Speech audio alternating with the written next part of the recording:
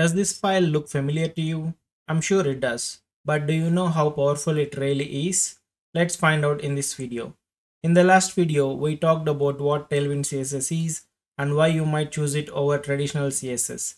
I also asked you to install Tailwind CSS. If you did, you probably noticed that a file called tailwind.config.js was generated during the installation and you might have added paths to the content section of it. But there is so much more you can do with this file. Tailwind CSS allows you to configure almost everything it offers, and this configuration file is the key to unlocking its full potential. When you first install Tailwind, you likely use this command. But did you know that by adding double flag full, you can generate a configuration file that includes every single utility Tailwind offers? This creates a comprehensive configuration file where you can modify the defaults of any utility class.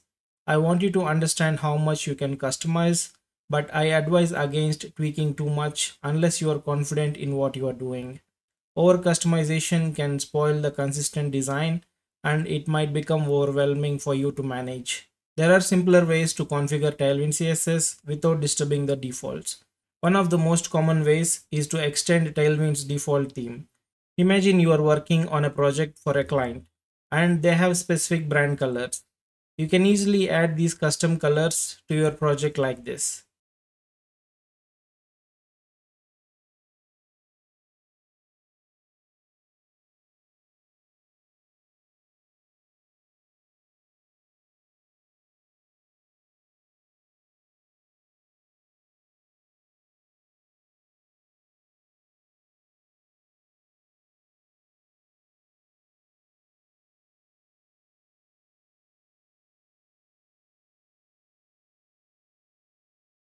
And now you can use these colors anywhere in your project.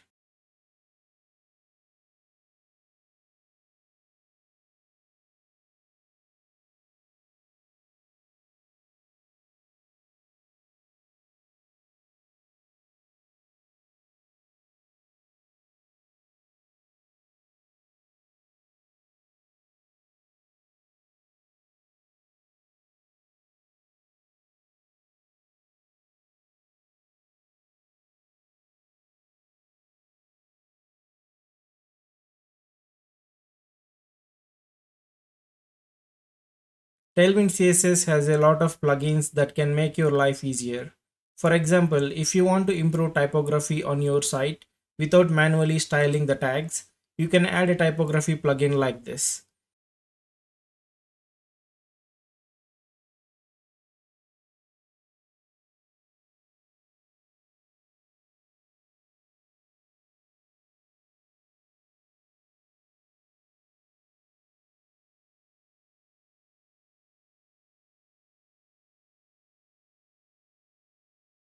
This adds advanced typographic styles and you can use it right away with Prose class.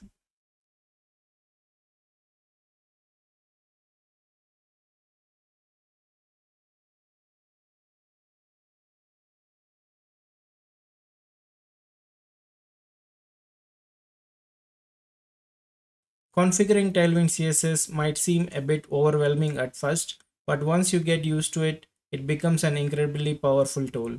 We haven't even finished with the basics yet. There is so much more you can do with this configuration file, but I hope you now have a good idea of what it is, what it's useful for, and what you can do with it.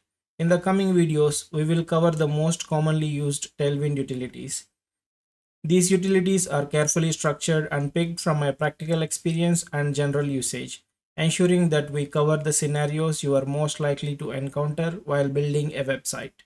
I'm really excited to help you master Tailwind CSS. See you in the next video.